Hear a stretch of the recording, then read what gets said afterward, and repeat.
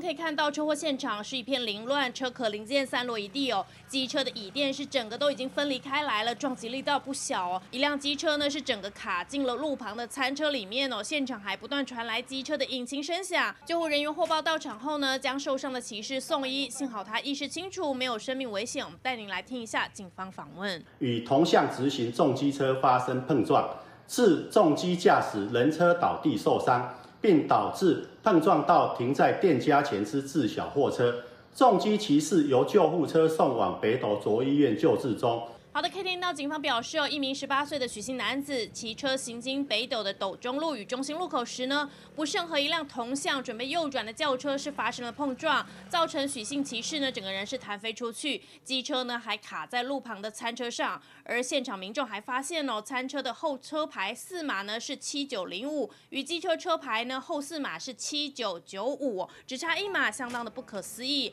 也幸好呢，这起车祸意外呢，骑士的伤势呢并没有什么大碍。